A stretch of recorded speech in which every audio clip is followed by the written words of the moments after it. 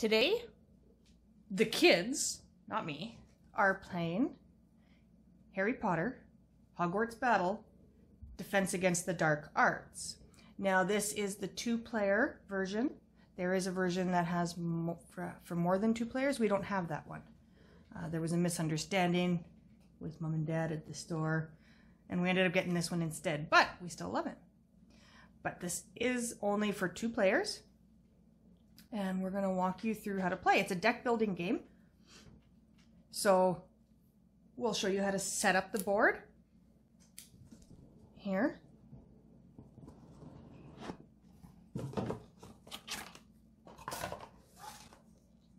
So the board is very small. Looks just like that. Okay, so we've already have we already have everything into library into um, Ziploc baggies. Makes it a little bit easier to set up. So Ryder split up, Ryder opened the library books right here. And those go at the top of the board and it's very laid out. Library, for the library books, your classroom is going to go over here. So what Ryder's going to do, I'm going to show what he's going to do and then I'll move over to what Lily's doing. Ryder's going to take all these cards and he's going to shuffle them into one huge pile. Okay, Lily, okay, we got cat coming through here and out of the way. Lily, you can see we have the house cards along the top. Each player will choose a house that they want to play for. They are double-sided and not the same house, so that means that both players could play the same house and each have their own card. So Lily has sorted the starting cards into piles. And she's going to show them to you as she'll point them out as I name them. So there are ally starters, the owl, the toad, and the cat. Allies give you bonuses on each turn. Lily, what's your favorite one to have? The owl. The owl. So the owl allows you to save tokens from turn to turn. Ryder, which which one do you like? The owl. He likes the owl too. Uh, when mom plays, I like using the toad. I like getting a heart each time. Okay, so you get to choose your starting ally. The rest of the allies go into the box. They're not used. How's your shuffling going over there? Good. Then, once each player has chosen their ally, their starting ally, each player also gets one wand. So Lily showed them the wand. That's those ones there. And then they each get one cauldron. Then there's the Alohomora cards. The purple ones. And each player gets seven of those. This is now your starting deck. There should be 10 cards in each person's deck.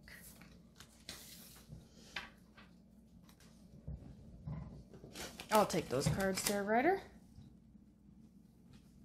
So each player takes their starting deck and they shuffle them.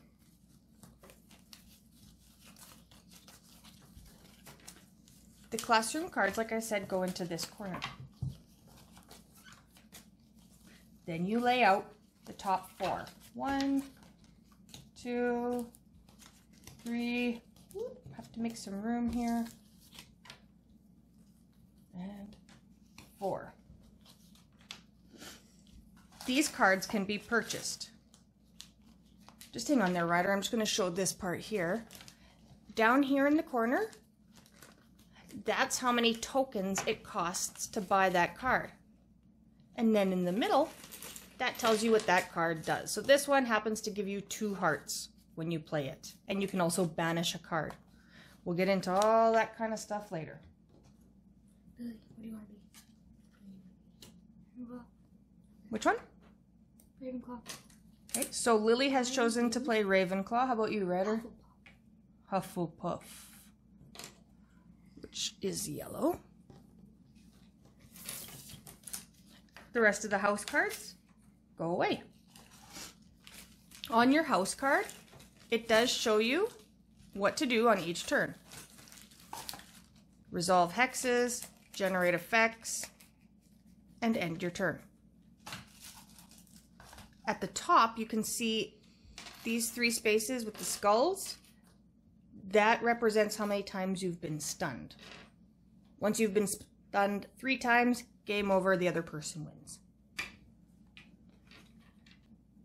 Okay, cameraman will zoom in. These are the stun tokens. Okay, move those to the side here. These are the tokens, the, the player pawns that show you where you are. So if you are here, you have a lot of health. Every time somebody plays an attack on you, you move towards the end one. Every time you play a heart, you move back towards the middle of the board. These are the money tokens. That's how you purchase the cards from the classroom. There's a whole bunch of them here. Okay. The hexes, we don't have the hexes out. I think we forgot that bag. Oh, thank you, Ryder. Thank you. Where's the hexes? Oh, we have lots of visiting cats up on our table now. Show me those. Just one of them. You can shuffle the rest. These are hex cards. They're bad things when bad things happen to you. If you have one of these in your hand, you have to play it first. So this hex allows you can only play two spells this turn. It'll all make sense when, once we explain the cards. Down in this corner is the banished cards. Those cards are out of the game forever. You can banish hexes and you can also banish these kind of cards up here. Okay, so to start the game, to start your turn, Ryder's going to start. And the first thing you do is draw five cards. So he's already done that. Once you have the five cards in your hand, okay, we have my friend. This friend usually never comes to see us. Oh no. Okay, so once you have your five cards in your hand, you play them in whatever order to generate. So he, the first card he played was his ally.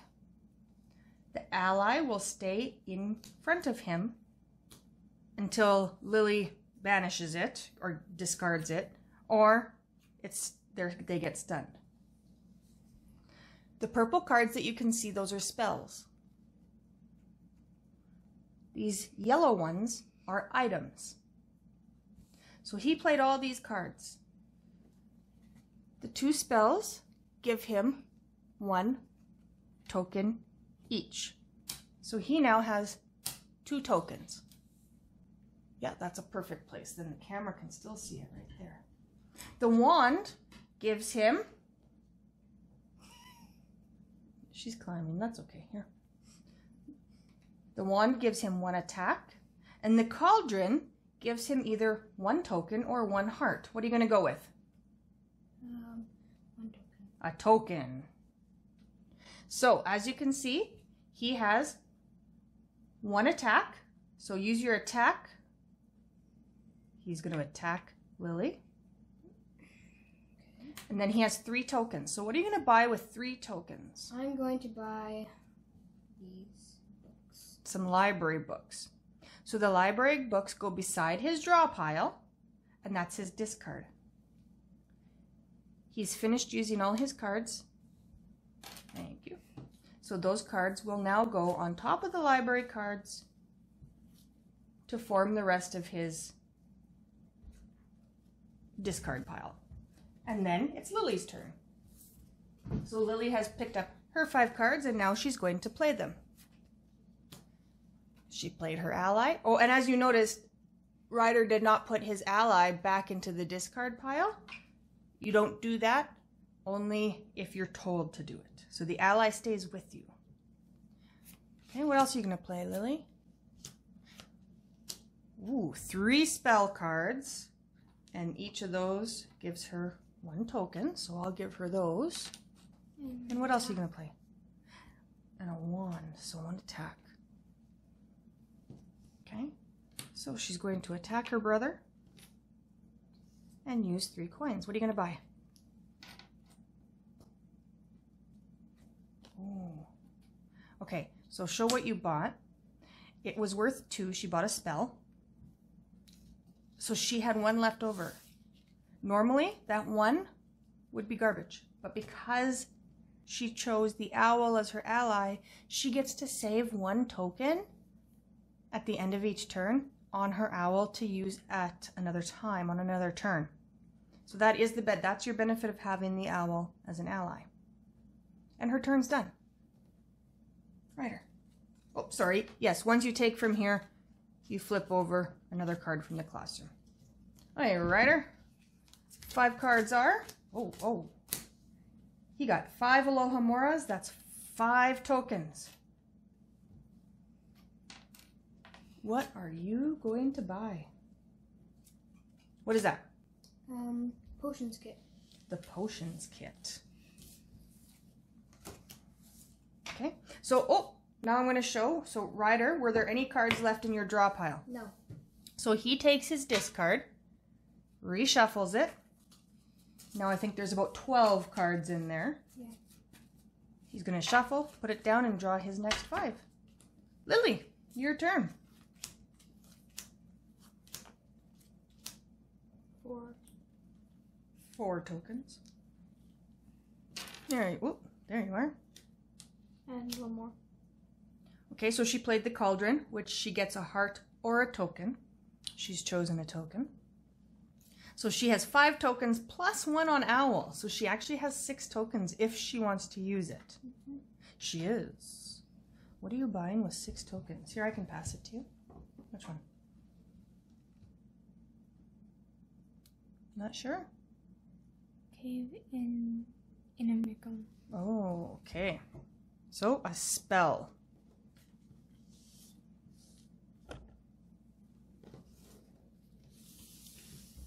All right. And it's Ryder's turn. He's picked up his five. What order are you going to play him? One, two, three. Okay, so he gets three tokens. I'm taking that cauldron. Cauldron, he's taking another token. One, one, and one. Okay, so the potions kit gives him one token, one attack, and one heart. Mhm. It's an awesome card. Five. Uh, So he's got five tokens. How are you gonna? What are you gonna buy?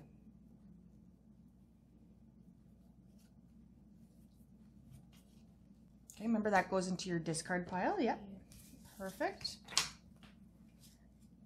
So he's used his five tokens, and then he has one attack. So he healed himself and he attacked his sister.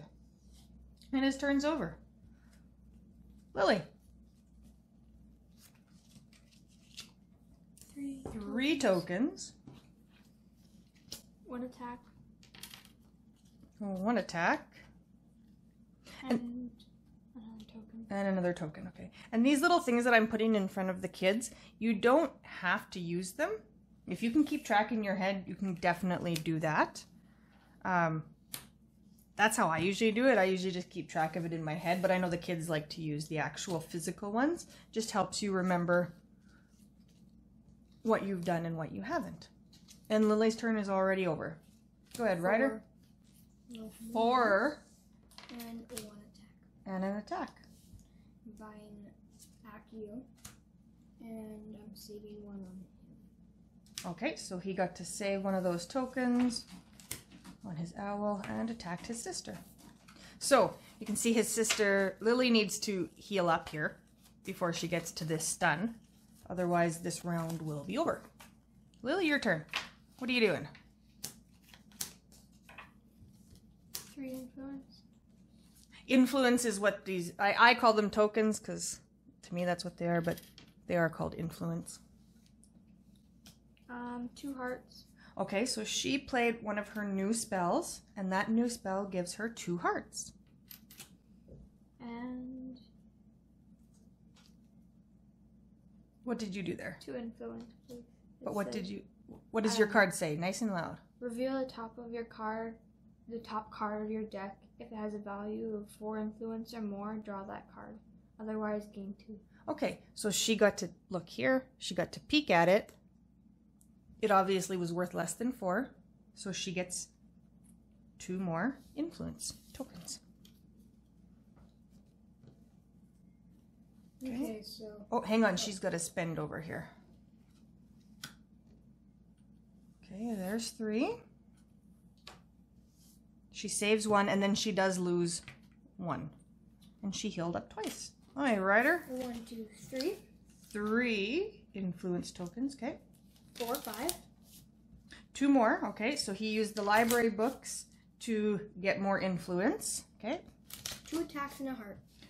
Ooh, and a new spell. I'm going to point this one out though. Some spells, is it just spells or items too that are colored? Uh, both. Okay, so some some cards are colored. So you can see this one's red. At the very bottom, you can see an extra bonus that you get to do if you belong to this house. Ryder does not. He belongs to Hufflepuff, not Gryffindor.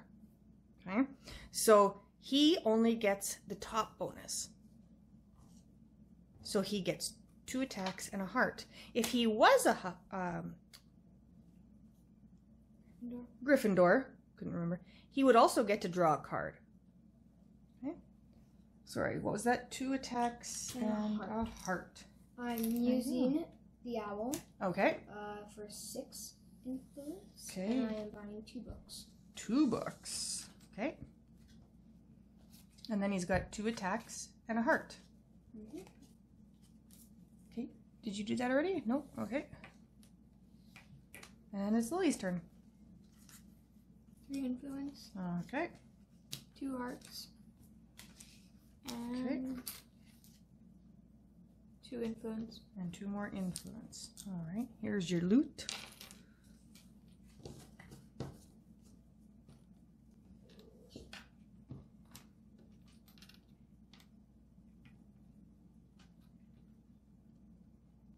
And sometimes this game can go really long. Um, depending on how much you heal and how much. Ryder and I played one game, I think, in 15 minutes. Remember that really quick game that we played that time? It was so fast. Yeah, so the game that Ryder and I were playing, um, Ryder won. Do you remember that? You, you and you beat me really bad, really quick every turn. So some games can go really quick. Oh, we forgot to fill in the classroom here. Don't forget to do that. Lily, your turn. What do you get? I just went. Oh, is it Ryder? Is it your turn? Oh, okay. Okay. One, two, three, Wait, four, when we take brain breaks here, we kind of forget whose turn it is. Talking. Five. five and one attack. Okay. I'm going to buy Flagrate, I think, and I will- And store my one. Okay.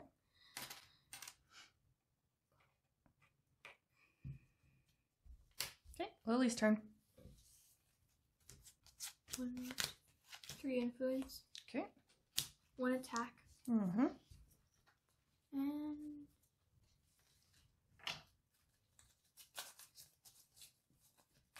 a heart. And a heart. Okay, there you go. So this was our very first deck building game. How much do you guys love deck building games? I like them. Yeah? Are they your favorite type of game now? Mm, No? probably. Yeah. Yeah, you like deck builders. They are fun. All right, Ryder, your turn again. And of course, it's Harry Potter, so everybody One, loves two, Harry three, Potter. four, Four, five, six. six influence tokens. seven. You could. I'm buying two books. Okay. So the strategy that we have found works is in the beginning buy as many library books as possible because they give you the most influence. Then you get lots of influence and you can buy the really cool cards that are in the classroom. So all library books are gone now. So until somebody returns their library books, that's it. Lily's turn. I'm never returning them. You're never returning yours? No. What about the late fees? Two influence, I don't know what those are. Oh no. Two info. Okay. two hearts, Okay.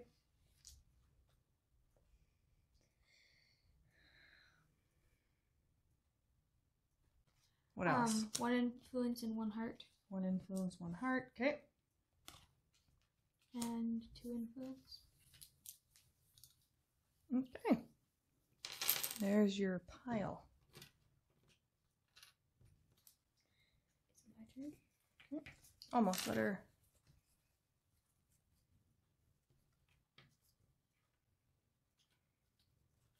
How many are you spending, or are you gonna are you gonna keep one on your owl? And you can keep as many on your owl as possible, but when the ally has to be put back into the deck, you will lose all those influence tokens. So just be careful. Ooh, an ally's on the table. One, two, three, four. So that's four. Four. Oh, okay. I can get. What else? What are you doing next? Are you banishing? Yeah. Okay. So banishing cards means they're gone forever. So he banished three cards from the classroom. This was from last time. I'll just take three.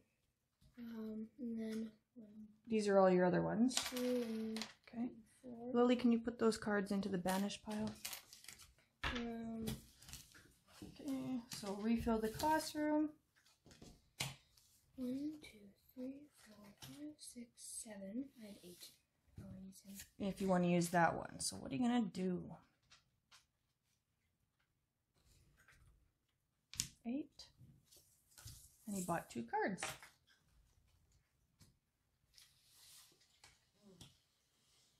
Okay, Willie's turn. Two influence, Okay. one attack. Yep. Two attack and a heart. Oh my. Okay.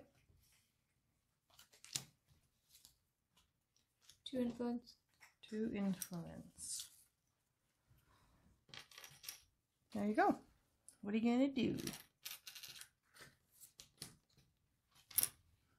Yeah, and so you will see the kids looking at the top card on their deck. That's if a card tells you to do that, that's what happens. I don't know if anybody has drawn a card yet. Has anybody done that? Uh, nope. Okay, well we'll we'll get there when the time comes. One, two, three, four, five, six. Oh my. Go. Oh, you don't need them. Okay, so he got six tokens. So see, he didn't use the to- any of these tokens this time. So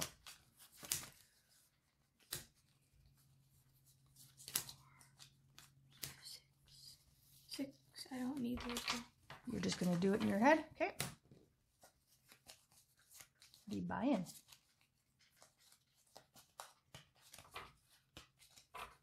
Actually, I do need one. Okay. Okay. No.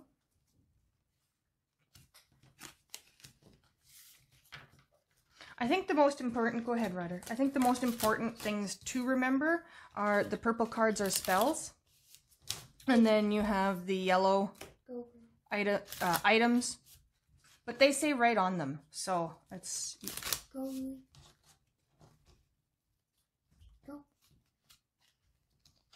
I think she was just shuffling her cards. Oh, thank you. Two attack and one heart. Okay. One influence. Yep. Two influence. Yep. And I get to draw a card. Oh, and draw a card. Okay, so beginner's mistake. If you've never played a deck building game before, which we never had, you do not choose a card from the classroom. You choose it from your own deck. And that might might sound obvious to people you know, to big gamers and stuff like that. But it was nowhere in the instructions. And for the longest time, we were choosing new cards from the classroom. So all it means is you draw another, so you wouldn't have five cards in your hand, you'd have six. One influence, Oh, another influence. Okay. two influence, And two more. and two more. And two more. Ooh. This is where, at this point in the game, you are getting more and more influence, so you can buy those really good cards from the classroom. Ooh. Ryder, you're almost stunned. You got some health in that hand? No. no. uh oh. You may be in trouble. Okay. One, Okay, your turn. two, three, four, five, six.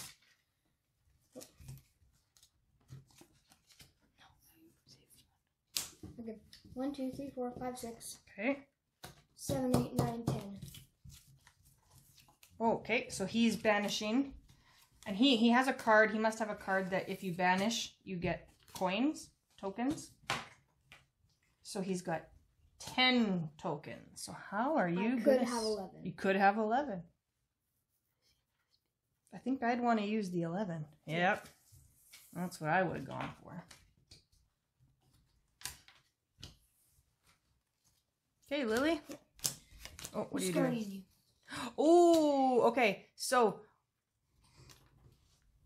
Ryder had a card in his hand that made Lily discard her ally, and so she lost, and not banished, just discarded. When back, she she'll get it back, but she lost her influence tokens. Um, oh, three influence. Okay. One influence, one heart, and I guess draw Okay. card. One attack. One attack. Um, one influence and one heart. All right.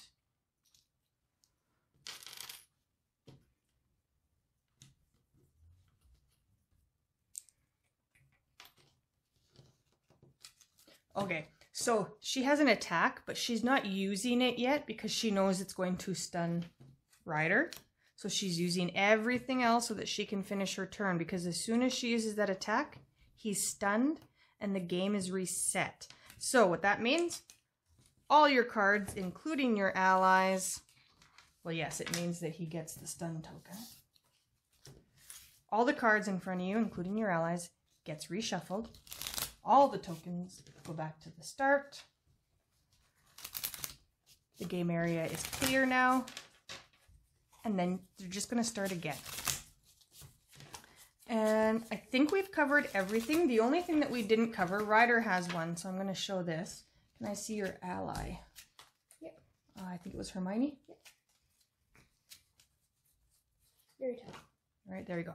Okay, so some allies have that color around them again. If you play this ally, you are now part of that house. Okay, so you don't have to be stuck being only one color house. If you have allies out, you are that house as well. So when these cards come, do you have any of these red ones? Um, yes, I do. So next time he plays this item, if she is in front of him, he would get to use the bonus on this item. But only if she's played, not if she's in the discard pile. So that's just another way to become a part of a different house.